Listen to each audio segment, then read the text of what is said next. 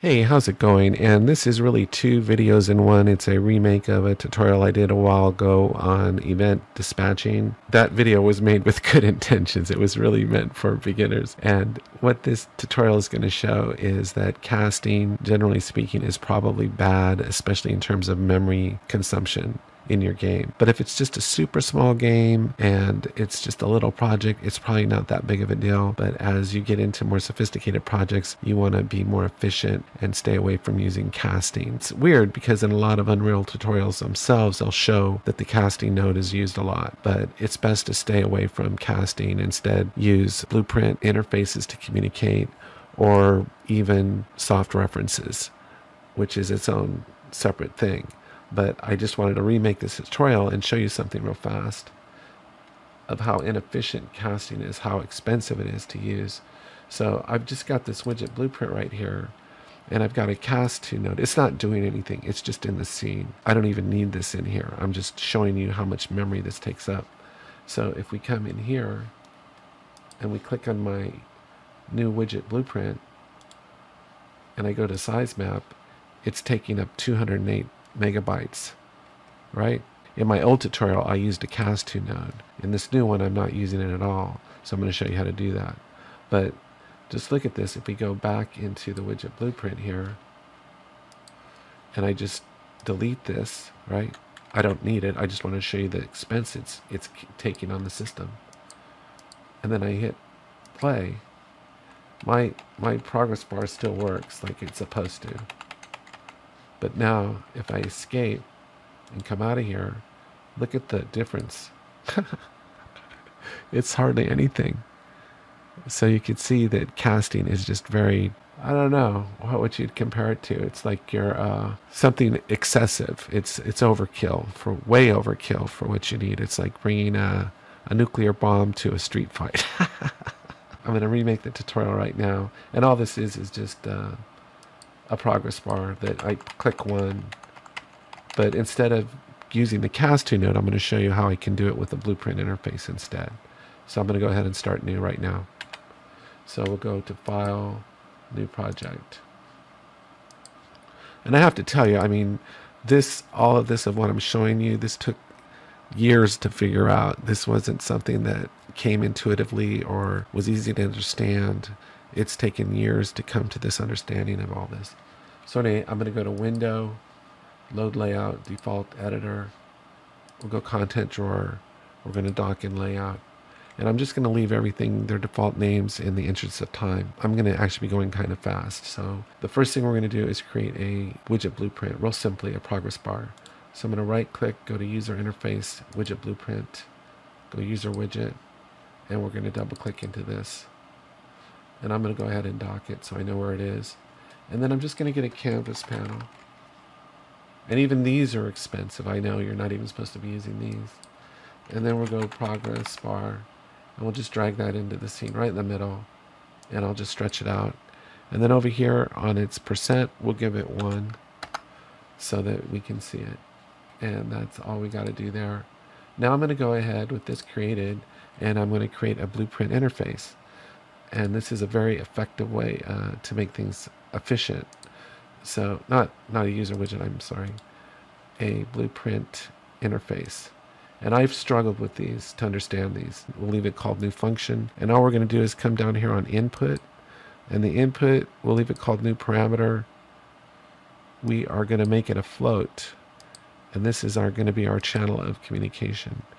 And that's all we have to do and then we'll close this and just remember it's called new function. Now the key on the blueprint interfaces is that the receiving, it only has to be implemented on the receiving side. So this blueprint, this blueprint interface is seeable by all the other blueprints, but it only has to be implemented on the one that's receiving the data. So that's the widget blueprint here. So we double click into it. We go on the event graph here, we come up to class settings. This is so different from the tutorial And we're going to go implement an interface here. And we'll, it's called new, right? New interface. There it is right there. And this is almost like a custom event. And so we don't, believe it or not, we don't need any of these nodes. And then all I have to do is double click onto this. And this is going to bring in the value and trigger the progress bar. So this is shockingly simple. So we're going to bring in the progress bar now, get progress bar, and here we're going to go set. It's so simple this way and memory efficient. So we just click in there and put that in there. And that's all we have to do. And isn't that simple?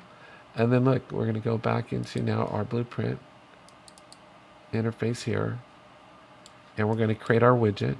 So we'll come up here and go create widget. And the class is going to be our new widget blueprint. And then we're going to add it to the viewport. So add to viewport. And that's all we have to do. And then the last thing that we're going to do is we got to create a float variable over here. And I'll just call it float.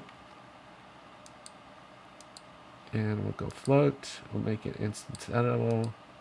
I'll go compile, save. I'm going to set the value to 1 because the percent goes from 0 to 1. So 50% would be 0.5. And then what we're going to do is I'm just going to drive this off a keyboard press. So I'm going to go keyboard and we'll just drive it off the one. And then off of here, I'm just going to go ahead and get and drag set.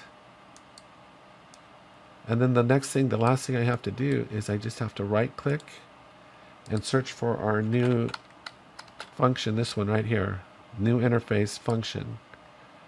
And the, the target is actually our, our widget blueprint. So the target, this goes in here.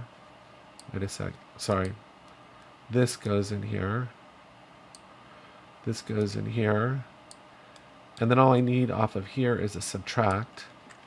So we're going to take subtract. And this is going to just be 0.01. And so this goes in here. And this exec pin goes in there. And that's all we have to do. And I'll go compile and save. And now if I come in here and I hit play, if I hit the one, let's see what it, why did it drop all of a sudden? Oh, maybe because I didn't set the value. Sorry about that. So here on the float, no, I set it to one. Oh, I didn't plug it in. Sorry about that. Okay. Yeah, point one. There we go. So now if I hit play, see, it's working and that's all into there is to it. So just know that in my previous videos when I used casting, it was for more instructional purposes. But when you get into game development, you really want to switch probably into using interfaces and getting away from the casting. So I have mixed feelings about casting because I've used it so much in the past. It's like a, I don't know, it's just like an old friend from the past because when I started in Unreal, a lot of the tutorials that I followed from Unreal themselves used casting. So I just got in the habit of using it, but it's really a habit I probably need to break. I don't look down on casting. I just look at it as it's a kind of a very expensive thing to use and it's probably overkill in a lot of situations. So it's just an adjustment that I'm making. And where I can, I'll go back in some tutorials and try to fix it so where I'm not using casting. But generally speaking, casting is probably not good. But just for, like I'm saying, if you're just learning, you're just getting started, or it's just something real basic, simple that you're making, it's probably okay. But it is expensive in terms of memory, as you can see here. So, anyway, thanks. Take care. Have a great day, and I'll talk to you next time.